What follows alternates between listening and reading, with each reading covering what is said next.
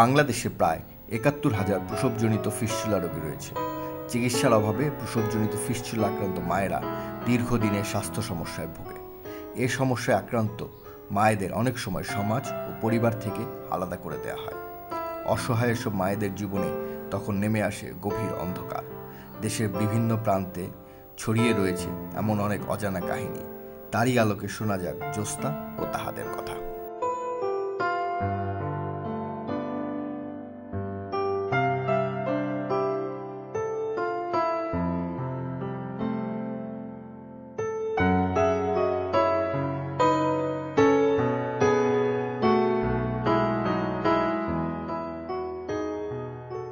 আমার সতেরো বছরে বিয়ে হয়েছে। বিয়ের তিন বছর পরে আমার বাচ্চা হয়। বাচ্চার ওই বাচ্চার পরে আবার আড়াই, দেড় বছরের কালে আবার সন্তান পেটে আসে। নয় মাস পূরণ হয়, তখন ব্যথা ওঠে। ব্যথা ওঠার পরে দায় বাড়িতে আনে। অনেক চেষ্টা করে বাড়িতে হওয়ানোর জন্য বাচ্চা বাড়িতে হয় না। দায় অনেকক্ষণ চেষ্টা করছে, চেষ্টা করার পরে কোনো লাভ হয় নাই। তারপরে কেমনি অনেক আরও খারাপ হয়। খারাপ হওয়ার পরে সে আমরা মানিকগঞ্জ সদর হাসপাতালে নিই। হাসপাতালে যখন আমি গেলাম ডাক্তার এসে বলল এ জায়গায় সিজার করা চলবে না। তখন আবার অ্যাম্বুলেন্স করে ঢাকায় নিয়ে গেলে ভর্তি টর্তি করে কলেজ মেডিকেল হাসপাতালে যখন রাত তিনটা বাজে যাই রাত চারটে বাজে আমার সিজার করছে। তখন আমার পেটের থেকে মরা বাচ্চা হয়েছে। পরেই মনে করেন চার দিনের মাথায় এই আমার এই পেশাব জ্বরা শুরু করল। গর্ভবতী মায়েদের যদি কোনো কারণে যোনিপথের সাথে মূত্রথলি অথবা পায়ুপথের কোনো অস্বাভাবিক যোগাযোগ সৃষ্টি হয়, যার ফলশ্রুতিতে প্রসবের পর মায়ের যোনিপথ দিয়ে অনবরত প্রস্রাব অথবা পায়খানা জড়তে থাকে। সেটাকেই আমরা বলছি প্রসবজনিত ফিস্টুলা। সাধারণত দেখা যায় আমাদের দেশে যেসব মহিলাদের ডেলিভারি বাড়িতে হয় সেখানে কোনো কারণে যদি তাদের প্রসবটা বিলম্বিত ও বাধাগ্রস্ত হয়, যার ফলশ্রুতিতে বাচ্চার মাথার প্রেশার যোনিপথ এবং মূত্রথলি অথবা পায়ুথলির উপরে পড়ে এবং এই অতিরিক্ত প্রেশারের কারণেই মূত্রথলি এবং যোনিপথের পথটা রক্তশূন্যতার কারণে পচন ধরে।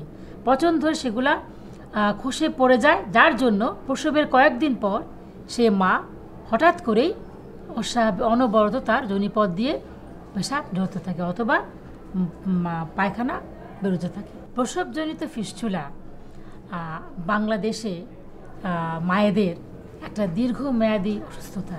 যে অসুস্থতার কারণে মায়েরা সমাজ সংসার থেকে অলমোস্ট বহিষ্কৃত হয়ে যায়। বারো বছর বয়সের কালে আমার বিয়ে হয়েছে। তারপরে বাস হয়েছে। বাড়িতে দায় আনছে বাচ্চা মরা হয়েছে তারপরে বাচ্চা মরার পরে অনেক পরে আমার এই সমস্যা। আর আট বছর। সমস্যার পরে আমার স্বামী চলে যে অন্য জায়গায় বিয়ে করছে।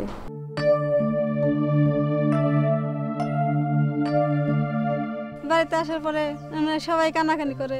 আমার শাশুড়ি কিছুদিন আমার স্বামীরে বলছে যে, তুই বিয়ে কর, এ বউ দিয়ে তোর শান্তি হবে না। তার বাড়ির প্রতিবেশীর কাছে আমি বসতে পারি নাই। গন্ধ তো তারা আমার থেকে সরে গেছে।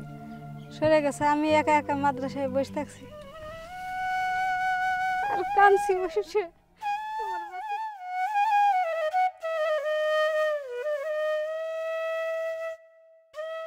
সাইডে গাটা উঠে মনে করো যে আর কোনো কাজা নাই। মানুষ আমার কাছে বসে না। কতক্ষণ একলা একলা মানুষের জীবন কাটানো যায়।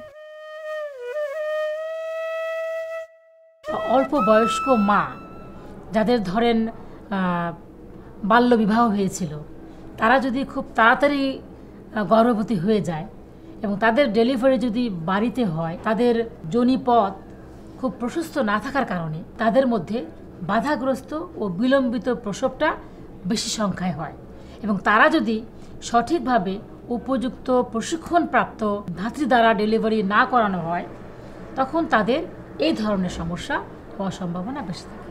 আর বয়স ছিল ধরেন বারো বছরে বিয়ে হয়েছে। তারপরে বাচ্চা হওয়ার সময় ধরেন ওই পেটে মারা গেছে।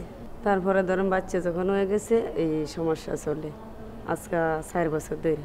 আঠেরো বছরের আগে বিয়ে নয় এবং আঠারো বছর পরে বিয়ে হলেও বিশ বছরের আগে মাকে গর্ভবতী হতে দেওয়া উচিত হবে না। আর যখন মায়েরা গর্ভবতী হবে তখন যেন তার ডেলিভারিটা বাড়িতে হলেও যেন প্রশিক্ষণপ্রাপ্ত স্বাস্থ্য সেবাদানকারীর মাধ্যমে হয়। তাহলেই একমাত্র প্রসবজনিত ফিস্টুলাকে প্রতিরোধ করতে পারব। ঘন ঘন প্রসবের জন্য মায়েরা কিন্তু এই অবস্থার শিকার হতে পারে। শুধু তাই নয়, একটা মা যখন গর্ভধারণ করে, তখন তাকে প্রসব পূর্ববর্তী সেবা নিতে হবে।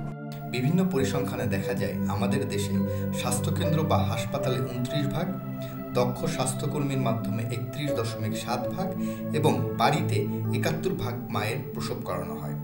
বাড়িতে প্রসব করানোর সাথে প্রসবজনিত ফিস্টুলার একটি সম্পৃক্ততা রয়েছে।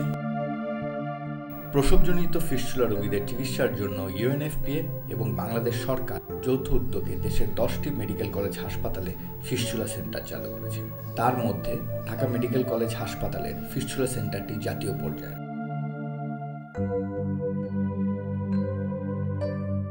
দেশের বিভিন্ন স্থান থেকে প্রসবজনিত ফিস্টুলা রোগীদের এখানে রেফার করা হয় এখানে রোগীদের বিনা খরচে জটিল অপারেশন ও অন্যান্য সেবা দেওয়া হয় Today I want to talk to you about fistula.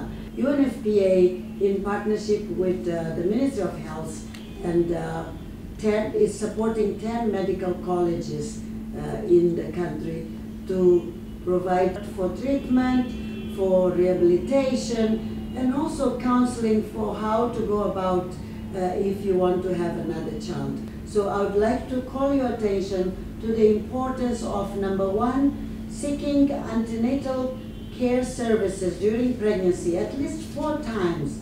Uh, the pregnant woman and girl should go to the health facility. And secondly, if by uh, any eventuality the birth happens at home and the young woman or uh, girl suffers from fistula, don't think you have no hope. You can seek medical help because you can be treated, you can uh, have repair, and also they can rehabilitate your body to function again, and you can also later on have other children. But it's important to avoid multiple uh, close by pregnancies. প্রসবজনিত fistula রোগীদের operation ও চিকিৎসার পর পুনর্বাসনের জন্য UNFPA সহযোগিতা দিয়ে আসছে। ইউএনএফপি এর সহযোগিতায় এবং বিডাব্লিউএইচসির তত্ত্বাবধানে প্রসবজনিত ফিস্টুলা রোগীকে বিভিন্ন ধরনের আয় বর্ধনমূলক কার্যক্রমে প্রশিক্ষণ দেওয়া হয়, যেমন সেলাই, সাক্ষরতা, বেকারি এবং পশুপালন। তাদের দক্ষতা, আগ্রহ ও প্রয়োজন অনুযায়ী কর্মসংস্থানের বিভিন্ন উপকরণও দেওয়া হয়, যাতে তারা এই সহযোগিতা নিয়ে নিজের পায়ে দাঁড়াতে পারে এবং স্বাভাবিক জীবনে ফিরে যেতে পারে। আমি চার বছর ভোগার পরে আমার ঢাকা কলেজ মেডিকেলে নিয়ে এসে আমি তিন মাস ওই জায়গা থাইকা অপারেশন হইলাম। অপারেশন হইয়া তারপরে আমি গরু প্রশিক্ষণ পশুপালনের প্রশিক্ষণটা নিয়ে আমি বাড়িতে আসলাম। আল্লাহ করলে আমি এখন পুরোপুরি সুস্থ। বাড়িতে কাজ করি, আর সময় সুযোগ বুঝে আমি গ্রামে যাই, মানুষের সাথে উঠান বৈঠক করি।